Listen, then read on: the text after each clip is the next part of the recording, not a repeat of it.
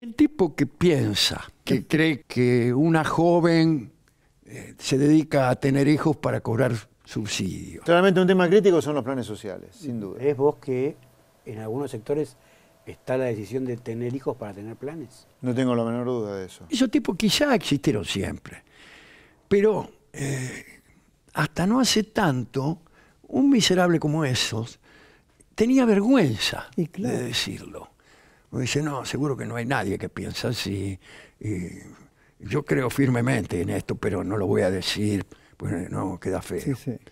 Y ahora no. Vos podés armar un programa, eh, por ejemplo, el programa No me gustan los negros, y hay, hay- por ahí hay gente que encuentra que eso es atractivo, es glamoroso, y que se descubre a sí mismo como un odiador de negros, y ahora está contento porque se siente acompañado.